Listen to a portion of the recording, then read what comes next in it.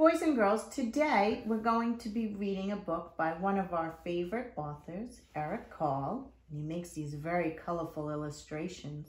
And it's about another type of insect called a click beetle. And this is called the very clumsy clicks, click beetle. Now, what does the word clumsy mean? That means he's not too coordinated. He has a hard time doing things. So let's find out what happens to that very clumsy click beetle. One fine morning, a young click beetle decided to go for a walk. At noon, it climbed up and down on a flower. In the afternoon, it rummaged through a pile of pebbles and in the evening it crawled among the tall blades of grass. And when it turned night, the young click beetle crept up a tree. After a while it got tired and fell to the ground. It landed on its back. The young click beetle tried very hard to turn over onto its feet, but it couldn't. Help, help, it cried. All along, a wise old click beetle had been watching the young click beetle. Tomorrow morning I will teach you how to click and flip through the air and land on your feet, said the wise old click beetle. In the meantime, you may as well go to sleep. Good night.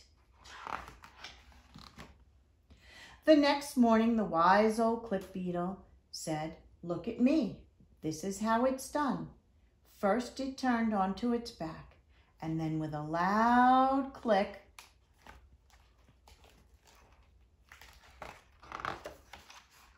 it flipped through the air and landed on its feet.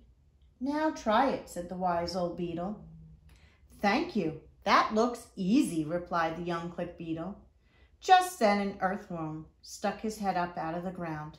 Look at me, said the young click beetle, and with a loud click, It flipped through the air, but it landed on its back. How very clumsy of me, said the young click beetle. Just then, a turtle ambled by. Better luck next time, said the turtle. Keep on trying. Look at me, said the young click beetle, and with a loud click,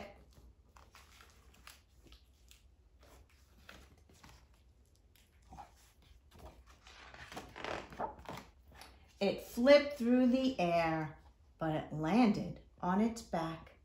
How very clumsy of me, said the young click beetle. Just then a snail slithered by. Don't worry, said the snail. You'll get there. Look at me, said the young click beetle. And with a loud click, it flipped through the air, but it landed on its back. How very clumsy of me, said the young click beetle. Just then a mouse scurried by. You need a little more practice, said the mouse. Look at me, said the young click beetle, and with a loud click,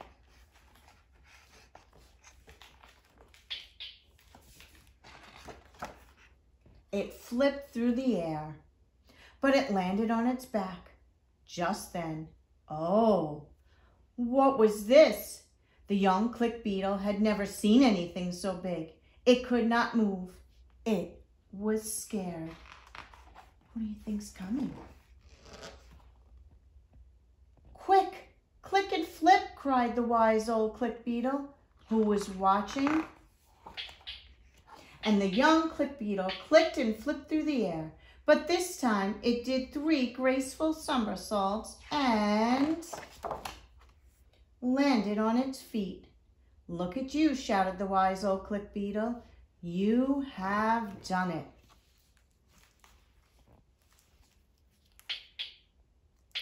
So if you keep on trying, you can eventually do what it is you're trying to do.